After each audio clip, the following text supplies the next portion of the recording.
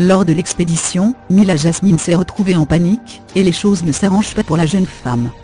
Elle et Julien Bert ont du mal à s'entendre et au final, ce sont les Roses qui remportent l'épreuve. Ils vont donc profiter d'un buffet à volonté. De retour sur la plage, Julien s'isole.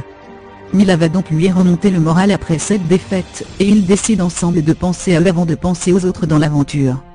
Plus tard, Mélanie et Nicolas partent manger, et c'est un véritable festin. Après la pizza, les burgers et les frites, place au gâteau au chocolat. L'occasion pour Mélanie de s'amuser un peu, et de tartiner le visage de Nicolas avec du chocolat, BCE dernier se vengeant en lui faisant un bisou plein de chocolat, B.